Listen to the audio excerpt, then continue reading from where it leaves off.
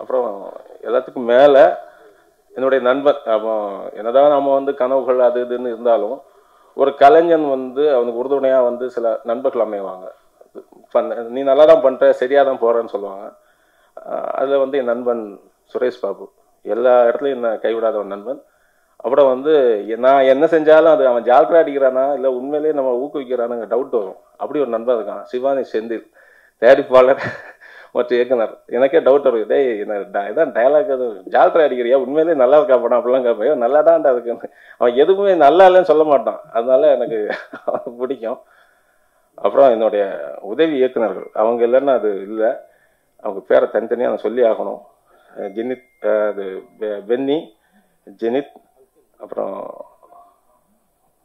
குரு ராமையன் சகாசு அண்ணாமலை அகத்தியன் அய்யனார் அகத்தியன் சேகர் அப்புறம் என்னப்பா பேர் மறந்துச்சுப்பா அட, அதை சொல்லிட்டேன்.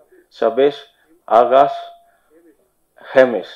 எல்லோருக்கும் நன்றிப்பா. என் கூட நின்னீங்க. கடினமான சூழலில் நின்னீங்க. உங்களுக்கு எல்லாருக்கும் நன்றி.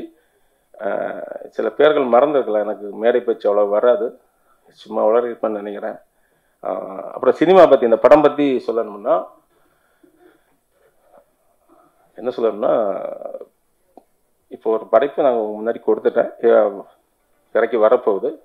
ஒரு ஒரு நாளில் நடக்கிற சம்பவங்கள் அந்த சம்பவங்கள் கூறவைகள் ஒரு விஷயம் சொல்கிறேன் இது ஒரு அது இப்போ ரிவீல் பண்ணுமா தெரில நீங்கள் படம் பாருங்கள் ஆனால் இது ஒரு ஒரு வழக்கமாக ஒரு க்ரைம் த்ரில்லர்னு இன்னும் ஒரு ஜேனர் இருக்குது அந்த ஒரு க்ரைம் த்ரில்லர் ஜேனர் நார்மலாக கடந்து போகாது. கண்டிப்பாக அது உங்கள் மனசுக்குள்ளே பூந்து ஒரு ரசவாதம் பண்ணுன்னு நம்புகிறேன் ஏன்னா ஒரு கொஞ்சம் பதட்டம் இருக்குது ஏன் என்ன பண்ணுறேன்னா அது வெற்றி தோல்வி வெற்றி பயப்பட மாட்டான் நான் அதுக்கெல்லாம் பயந்து வரல.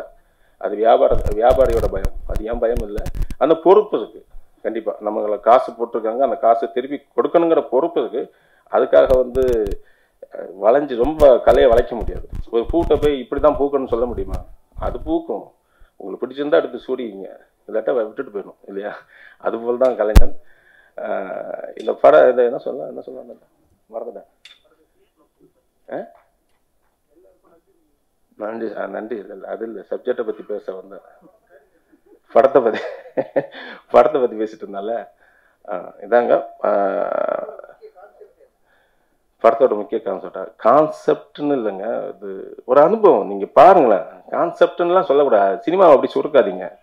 சினிமாங்கிறது ஒரு அனுபவம். நீங்கள் ஒரு ரோலர்ஸ் கோஸ்டில் கோஸ்டரில் அப்படி ஏறுறீங்க இறங்குறீங்க. அதில் அதை எப்படி விவரிப்பீங்க? அது நீங்கள் ஏறி இறங்குனா தான் தெரியும். சினிமா சினிமா கதை கிடையாது. சினிமா கதைன்னா நீங்கள் வந்து கதையை நான் கையில் எழுதி கொடுத்துடலாம்ல. நீங்கள் எதுக்கு சினிமா தேட்டருக்குள்ளே வரணும்? சினிமாங்கிறது அனுபவம். புரிஞ்சுங்களா? ஒரு புத்தகம் படிக்கிறோம். ஒரு புத்தகத்தோட நாலு வரியை வச்சு கதை சுருக்கத்தை வச்சுட்டு ஒரு அண்ணா கரினாவை நீங்கள் முடிவு பண்ண முடியாது. அது சிம்பிளாக நாலு வரியில் சின்ன கதை தான். அது நீங்கள் அந்த முழு புத்தகத்தையும் படிக்கணும். அந்த அனுபவத்தை அண்ணா கரினா யாருன்னு தெரிஞ்சுக்கணும்னா அந்த அனுபவத்தை படிக்கணும். படிச்சா தான் தெரியும். அதே போல் சினிமாவை நீங்கள் முழுமையாக பார்த்தா தான் தெரியும். என்னுடைய பார்வை சரியா தப்பாங்கிறது அது வேற. என்னுடைய பார்வை கூட நீங்கள் உடன்படலாம் உடன்படாமல் போகலாம். அது என்னுடைய பிரச்சனை இல்லை. என்னுடைய பார்வையை சொல்ல என்னுடைய படைப்பை உங்க முன்னாடி கொண்டு வர உரிமை இருக்கு. ஏன்? இங்க உப்புமா படம் எடுக்க கூட உரிமை இருக்கு. சொல்லுவாங்க அது உப்புமா படம் அது அப்படிலாம் இல்லை. நம்ம வீட்டு வீட்டில் ஒரு குழந்தை கிறுக்குனா அது உங்களுக்கு பிடிக்கும். பக்கத்து வீட்டு குழந்தை கிறுக்குனா பிடிக்காது. அந்த கிறுக்கல் உங்களுக்கு பிடிச்சதுக்குல்ல அது ஒரு கிறுக்கலை எடுத்துக்கணும். புரிஞ்சுங்களா? எல்லாருக்கும் அந்த எல்லா உரிமையும் இருக்கு. அதை நிராகரிக்கிற உரிமை உங்களுக்கு இருக்கு. அதை தேர்ந்தெடுங்க நிராகரிங்க. ஆனா தப்போ சரியோ? அதாவது mass film mass psychology mob சைக்காலஜின்னு சொல்லுவாங்க. மாப் சைக்காலஜி வச்சு சினிமா இருக்கு. மாப் சைக்காலஜியை டிபெண்ட் பண்ணி சினிமா இருக்கு. இந்த சினிமா பொறுத்தளவில் என்னன்னா மிரர் இப்போ நான் ஒன்றும் காட்டலை. ஒரு கண்ணாடியே பூசி உங்கள் முன்னாடி நீங்கள் பார்த்துருப்பாங்க உங்கள் முகம் அதில் தெரியும். அவ்வளோதான் அந்த மிரர்னா நான் ரசம் பூசுகிற கண்ணாடியில் ஆழமான தண்ணி சலசலப்பில் தண்ணியில் உங்கள் முகம் தெரியாது. ஆனால் ஆழமான தண்ணியில் அது அமைதியான தண்ணியில் உங்கள் பிம்பம் தெரியும். அதோட ஆழத்தை நீங்கள் கண்டுபிடிக்கலாம். இந்த படத்தில் அதை நான் அந்த ரசவாதம் நிகழும்னு நம்புகிறேன் பதட்டம்னா என்ன பதட்டம்னா ஒரு ஃபர்ஸ்ட் ப்ரொப்போசல் சொல்லும்போது ஒரு பொண்ணுக்கிட்ட சொல்லும்போது ஒரு பதட்டம் இருக்கும் பொண்ணுக்கு ஒரு ஹைக்கு சிலவங்களுக்கு ஹைக்கு பிடிக்கும் கவிதை பிடிக்கும் கண்ணியம். ஏதோ ஒரு வழி மூலியமாக தானே பொண்ணுகிட்ட அதை ஃபர்ஸ்ட் ப்ரொப்போசல் பண்ணும்போது சின்ன பதட்டமாக இருக்குங்க.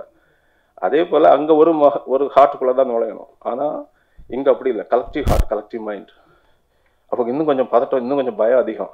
அந்த பதட்டம் எனக்கு இருக்குது அந்த பயம் இருக்குது ஆனால் நுழைஞ்சிடுவேன்னு நம்புறேன். நுழைஞ்ச ரசவாதம் செய்யும்னு நம்புறேன்.